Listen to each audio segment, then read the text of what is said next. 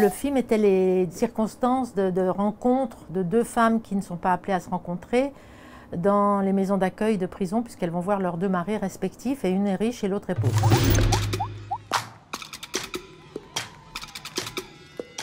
C'est un projet qui était un film de Pierre Courrèges, écrit avec Bégodeau entre 2012 et 2019, et ils n'arrivaient pas à le monter. Donc en 2019, j'ai réécrit avec Bégodeau jusqu'en 2022 à peu près, en mettant dès le début une histoire paradoxale qui parle des bienfaits de la trahison et, surtout qui explore la, l'amitié. Quand on met Afsia dans la maison d'Alma, euh, c'est pas sa maison. Afsia, on lui avait fait un.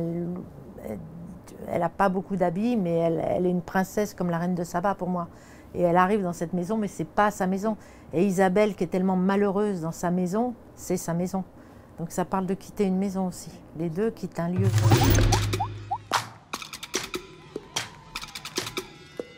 On travaille le cliché, c'est-à-dire la bourgeoise esselée et la femme des banlieues. Le rapport de classe, il s'établit à la maison d'accueil, il se voit, se sur les matières, sur, la maison d'Alma, donc on n'avait pas besoin de, de, de l'exploiter en dialogue. Autant, autant je j'avais déjà travaillé avec Isabelle, autant Asien, on ne se connaissait pas et on s'est un peu apprivoisé pendant plusieurs mois avant le tournage. Elle incarne toujours très fort le réel et l'émotion, mais c'était pour le sortir plus, d'être plus dans la comédie italienne.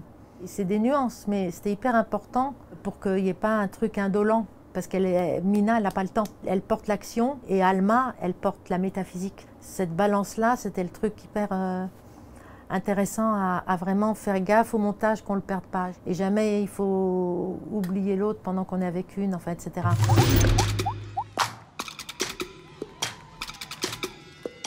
Alma, elle est au-dessus du vide et Mina, elle est en survie. Et après, elles ont beaucoup d'humour toutes les deux. Alma, elle a un, humour sur elle-même euh, hallucinant parce qu'elle elle, est tellement au bord de craquer qu'elle est tout le temps en train de rigoler. Et quant à Mina, elle, euh, je dirais plus qu'elle est vers le burlesque, dans le corps, il y a des séquences où vraiment je me disais, voilà, euh, Mina, c'est du Boris Barnett, quoi.